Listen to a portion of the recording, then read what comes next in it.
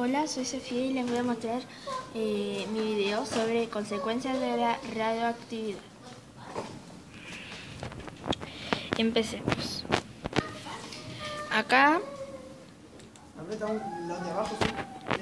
el incremento de riesgo de sufrir todo tipo de cánceres y debilitamiento del sistema inmunológico son las principales consecuencias para los humanos que entren en contacto con material radioactivo como el que puede fugarse en de la planta nuclear de Fukushima, Japón, luego del terremoto que afectó su funcionamiento. Eh, ¿Cuáles son los efectos de la radioactividad? Y acá les muestro una imagen de una señora con ese problema. ¿A qué se enfrentan las personas que pueden sufrir con la contaminación por las fugas en, un en una planta nuclear?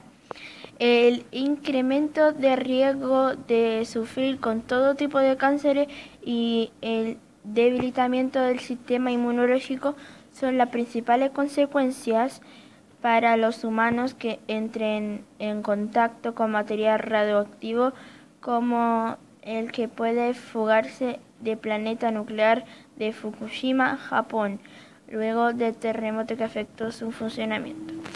No solo eh, produce graves efectos en el medio ambiente y en la salud, además el material radioactivo no se detecta sin instrumental adecuado, ya que no se ve ni, posee olor.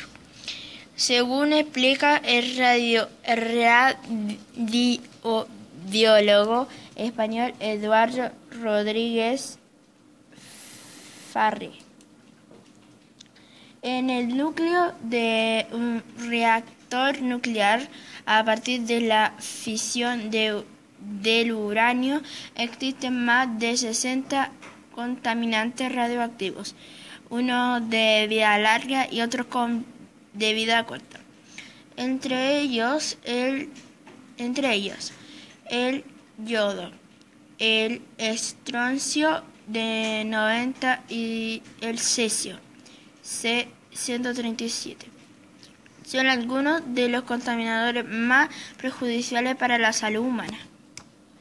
Y acá, ¿a qué se enfrentan las personas que pueden sufrir a la contaminación por las fugas en una planta nuclear, el incremento de riesgo de sufrir todo tipo de cánceres y el debilitamiento del sistema inmunológico son las principales consecuencias para los humanos que entren, que entren en contacto con material radioactivo, como el que puede fugarse del planeta nuclear de Fukushima, Japón, luego, que luego del terremoto que afectó su funcionamiento. No solo produce graves efectos en el medio ambiente y en la salud. Además, el material radioactivo no se detecta sin instrumento adecuado, ya que no se ve ni puede olor, ni posee olor. Según explica el radiobiólogo biólogo español Eduardo Rodríguez Farri. Esa, listo, y acá tengo otra imagen. Las radiaciones afectan también al sistema reproductivo, sobre todo las mujeres. Es que los espermatozoides se regeneran totalmente cada 90 días, pero los óvulos permanecen en los ovarios de toda la vida.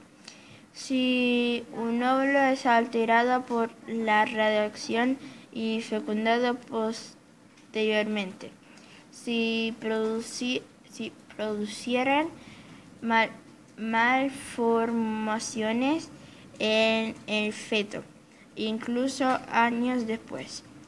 En el caso del yodo y cuando la principal vía de contagio es la inhalación, el único método afectivo es ingerir pastillas de yodo. Así la glándula tiroides va eliminando el yodo sobre y de esta forma cuando se satura de yodo normal puede ir eliminando el radioactivo inhalado. Y acá sigue.